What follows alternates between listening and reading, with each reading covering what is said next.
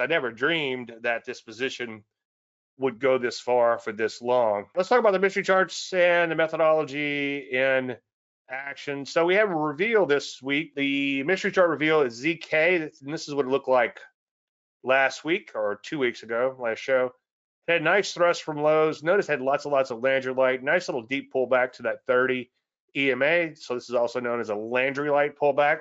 Entry was there, stop was there, and the IPT was here. So this is exactly as I showed it last week, and we were already long this particular stock, and it was actually still set up as a pullback, as you can see, a trend pivot pullback, and also a Landry light pullback, as I just said. Anyway, so we'll take a look at what happened. Here with the original parameters. I first recommended it on the 14th. I don't know exactly which day it triggered. It might have taken a day. It took two days, I think, to trigger. Anyway, it gave us a smoking report, which is pretty exciting. So here's the setup once again. It triggered and didn't do a whole lot. It came right back in. In fact, we had a loss on the first day in or second day in, and that could be a little demoralizing, but got to stick with it and see each position to its fruition. That's something I'm going to talk about in just one second. So anyway, once you hit that initial profit target or the IPT as often call it, then you're taking off, remember, half of your shares and you're bringing that stop to break even. And that helps, obviously, but not guarantee that the worst thing can happen to you is you break even a second loaf of the trade. And the best thing would be for this thing to take off forever. Unfortunately, this one hasn't done that just yet. So we'll take a look at what happened here. You can see it just kind of meandered back and forth for a while. And then I think I got whacked a couple days ago. Uh, this slide might be a day or two old, but it did get whacked the day after the election. That's always a little demoralizing. You're like, oh, great, you know, my stocks are doing good. And then all of a sudden the market takes off and you don't take off with it. Well, it happens. And sometimes in, in, in this particular case, for instance, it took off before the market took off. So anyway, you do want to see each position to its fruition. I don't know why I can't say that tonight. All right, I want to follow up on the CLOV from a while back. Remember, this was a Landry pullback. Come back to this once we finish the segment on a million little things, and this will make more sense in one second. But you had a stock that trades fairly cleanly. Where I'm going with this is it. This is a really good example in stock selection, and it began to accelerate higher. And you had lots and lots of Landry light. The big blue arrow was also pointing higher and you had a nice little Landry light deep pullback to the 30 EMA. And you can see down here, the Landry light goes back to zero whenever you intersect that moving average. So entry was there, stop was there, and initial profit target was here. So again, that's the entry. And what's what was kind of cool is two days in, we're up 400, but about two weeks in, we're down $360. But it did take off.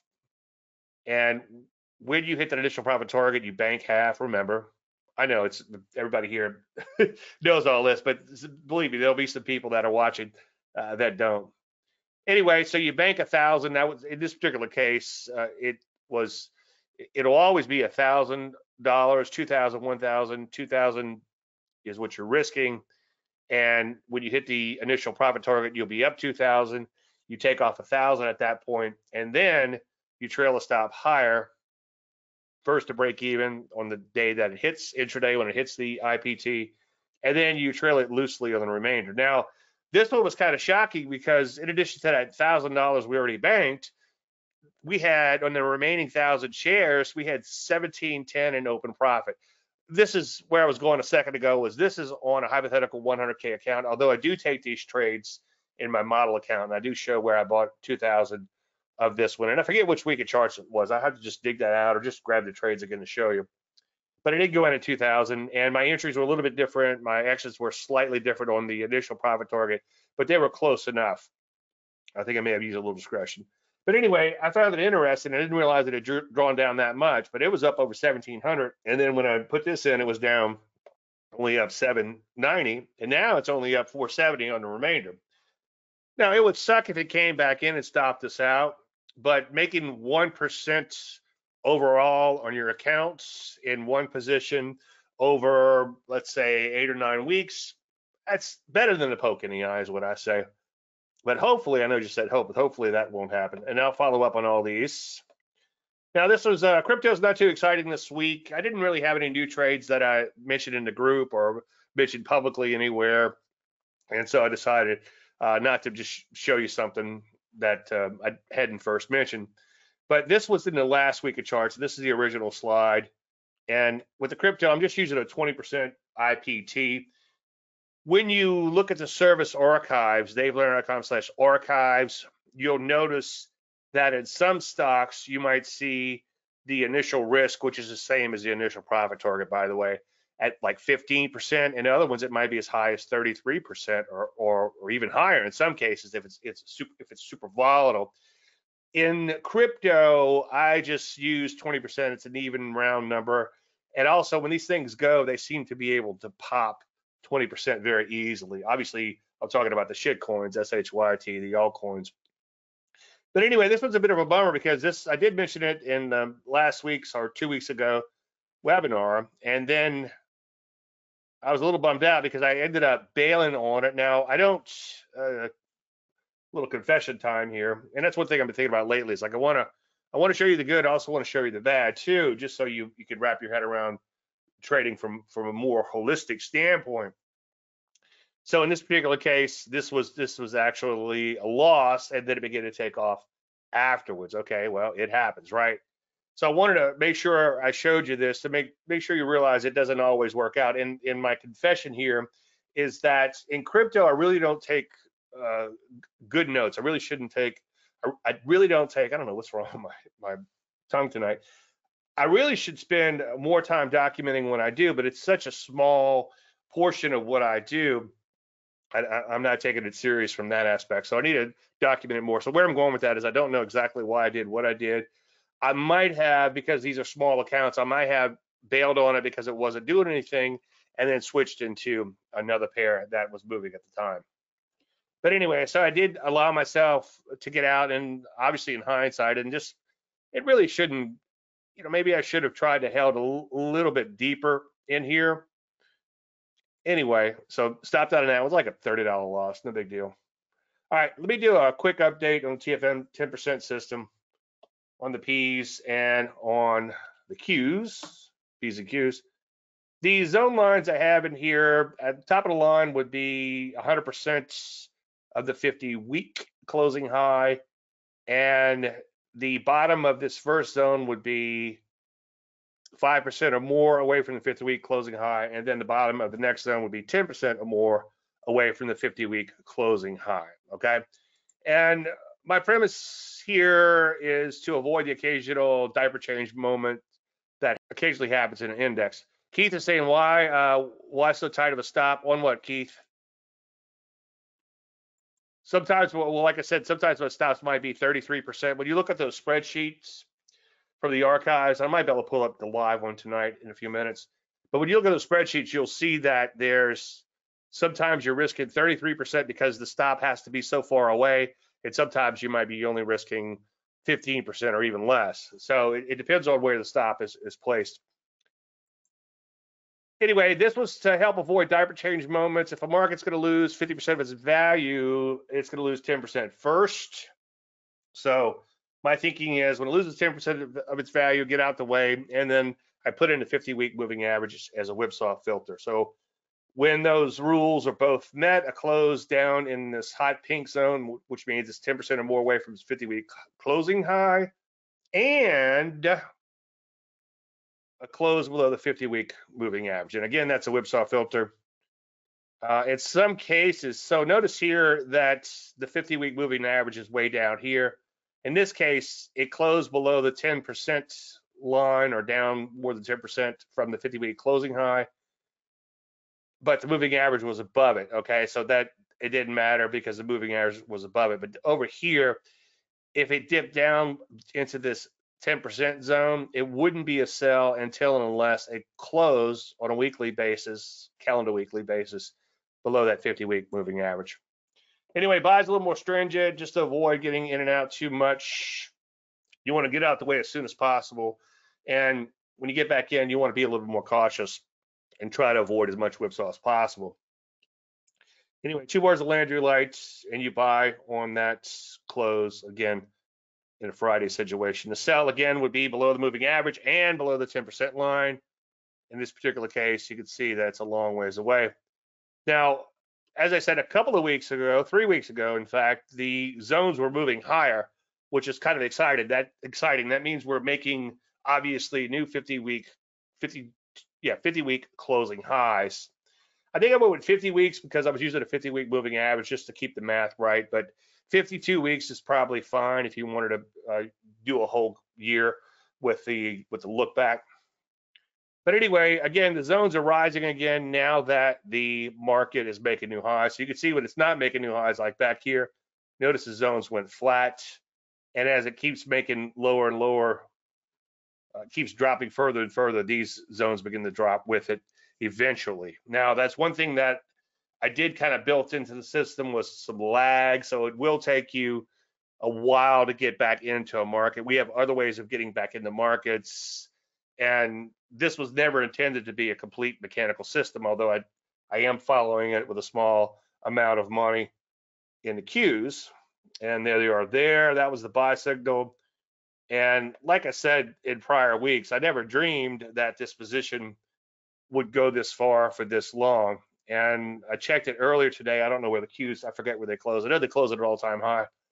But the queues were up with a 500 handle, and I got into this thing in the 300s. So it's 192.77 points, a 60% run. I, who's uh, you know, what are the chances of getting to an index and run and catching a 60% run? Uh, it's it's that doesn't happen that often. In an index like this, I'd be happy with a, a 10% or a 15% or a 20% move would be pretty amazing. So I'm not bragging on the system. I'm just amazed that the market was able to do this. And you know, the other thing it, it helps me to do as I'm kind of looking at this, because I've been pretty bearish here and there in between on on on the market since this thing triggered. But when you look at this longer term weekly chart, it does help you to put things in perspective. Like the market looks pretty good when you're looking at this chart, but then it gets a lot scarier when you're looking at that that daily chart, right? anyway, longer term stuff. Uh, the just real quick, I've just showed you this because I, my new thing is let me show you the good and the bad with, with a pure trend following system. Now remember, as you just saw, we're using a hybrid approach, but a pure sim, trend following system. And I know I'm beating the dead horse on this, but your drawdowns are abysmal and your accuracy sucks. but you can see when I first got in this thing back here, I was feeling pretty darn good after a few weeks of uh, question, uh, scratching my head for doing that but then it pulls back, and that's a $4,400 loss. Nearly all of the gains that were gained, okay, or, or whatever for the prior run, and it had the potential to go negative by the time it triggered a stop out. Anyway, there was another $3,600 drawdown here, and this one hurt a little bit, $8,000. And again, when I put this on, like I said, it was kind of like an S&G thing, only about 100 shares. And then it became, it turned into kind of real money. So I guess I'll keep following it with uh, with the Q's.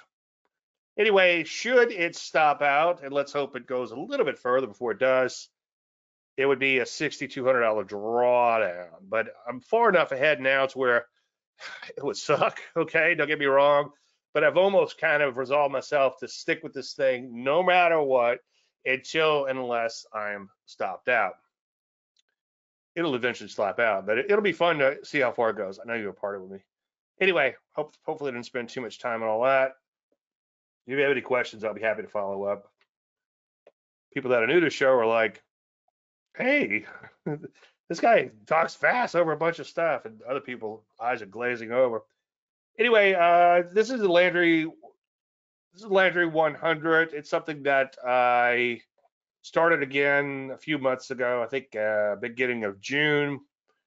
And the whole system is you're just looking for 52 week highs, okay, on a closing basis through a tradable universe. And I think a tradable universe is probably, I would say, at least 200,000 shares on average, maybe a little bit more. And right now, I'm looking at 52 week closing highs. And I think that if the market got a little iffy, God forbid, I might look at shorter term closing highs to find things for it. But I seem to be able to find plenty enough stocks at these 52 week closing highs, especially now. Now, last week I was beginning to wonder. But the thing about this list is now I don't actually trade this. This is just a shits and giggles kind of thing. This is I know you want to party with me, but this is kind of something fun to do so I can see where the leadership is in the market. And a while back, it's like I hated to do it, but I was forced to put REITs in this thing and utilities, and it's like, what the heck is going on, you know? But that's the areas that were fastly becoming momentum, and that's the great thing about this. It helps me to see these things as they occur. But anyway, I thought it was kind of cool. This one today was up 43%, almost 44%, and 148% is a sort of tracking. So I know I've showed something similar in the past. I just want to show you that this was actually bought right at right there at these 52 week highs. And again, that's technical analysis at its finest. If if a market's going to go from A to B and B is somewhere in between, sometimes you could just buy a B. Now, let me back that back a little bit, roll that back a little bit. Unless, of course, IPOs will be fine for the buy a B pattern as a general statement, though, if you are going to buy into new highs in a market, because breakout trading can be, uh, your results can be very, very low in accuracy. But if you're buying these breakouts and these new highs, because you never know, of course, where you're going to buy a new high right into a correction, as a lot of these do, and I've shown in previous webinars. But anyway, if you buy enough of them, you're going to catch the 43% and 44% moves occasionally and end up with a triple digit gain in some of these things. And the idea is to see how long we could ride these out, see how big these gains can become. And it's it's it's fun. It's because there's not a whole lot of stress in doing it, and it's not a tremendous amount of work. But anyway, I've been working on this obviously for a few months, and it it tells you a lot. And I'll I'll uh, if you guys want it in the Facebook group, I'll um, I'll shoot you a list of the stocks over there. So anyway, this one 148% gain. And then if you look over here, 107, 90%, and they go down from there. Now there's some stinkers in here, don't get me wrong. In fact, let's take a look at that too. Now, one thing about momentum is momentum is fantastic, but it does end badly. And at one time, uh, my kunash just slipped out of the badly. Uh, uh, one time, uh, who was it? Uh, Mike Moody, I think, was giving a speech, and um, on momentum and on. I asked him. Uh, I said uh, it always momentum ends badly. If you uh, if you figure out a way to solve for that, I'll, you'd never see my fat ass again. And uh, it was really cool. He's like, Dave, if you're gonna have a baby, you're gonna have a lot of baby poop. Baby's really cool, but they come with a lot of baby poop. Anyway, his point was that you have to take the good with the bad, and and that's kind of the thing I want to kind of focus on more and more is the good and the bad because everybody wants to hear about the good nobody wants to hear about the bad but that could keep you in an endless cycle of holy grail hunting all right anyway so this is some ugliness that i noticed today and this one obviously came out today but you could see that it got waxed 20 something percent today and what's interesting is it was actually must have been up quite a bit because it was only a 12.67 percent hit by taking it out near the close or on the close. But you can see there's some other spankings in here. This one's still up 34%. I don't know if it came out or not, but down 23% today. It likely came out with that spill.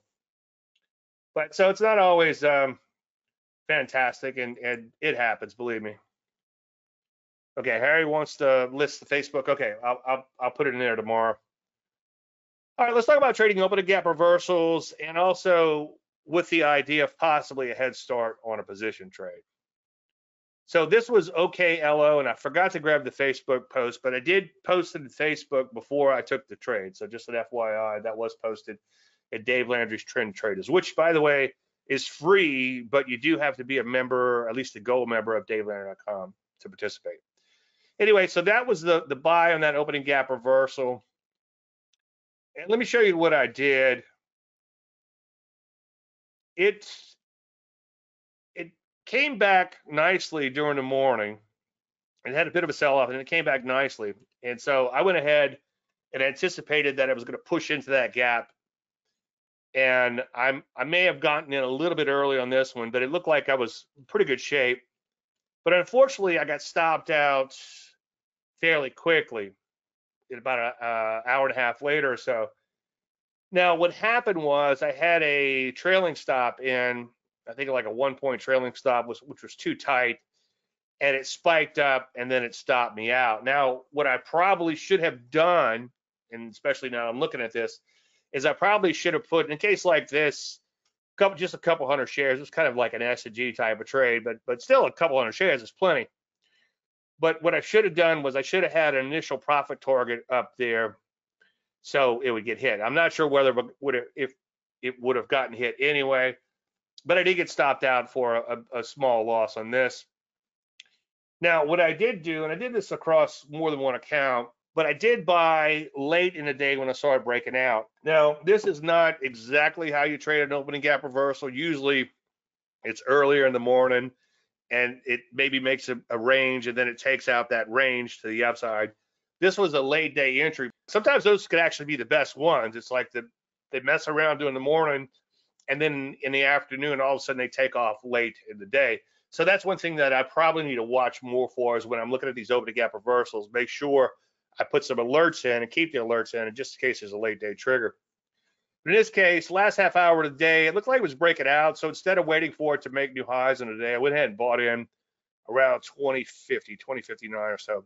And by the close, I was actually up a little bit, maybe a hundred bucks, if that much, but it wasn't, it was better than a poke in the eye type of thing. And it also erased the morning day trade on this. Okay. So it was not only erased the morning loss, but it also had a small profit. And in this particular account, it was a small uh, share size and all. I said, well, you know what?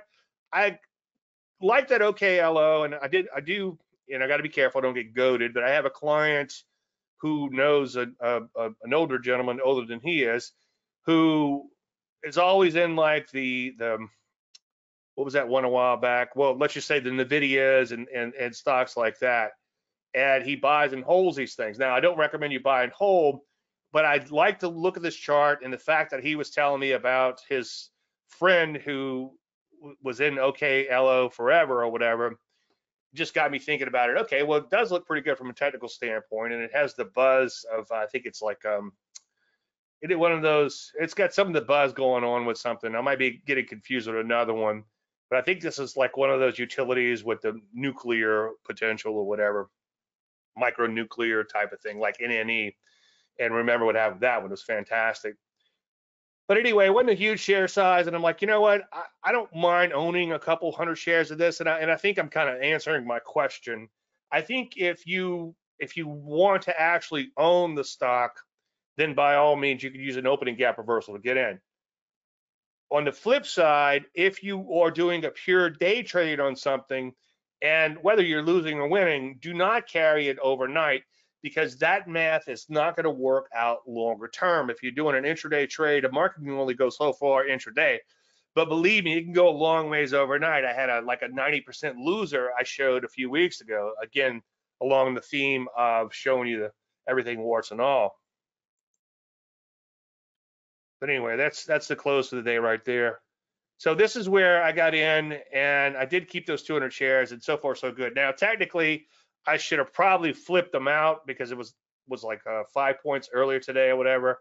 I probably should have flipped out half of them, but I didn't actually go in with a plan other than I did want to own this one particular stock. And I'm not preaching buy and hold. I'm just showing you that this thing was somewhat set up on a daily and then it made the opening gap reversal on top.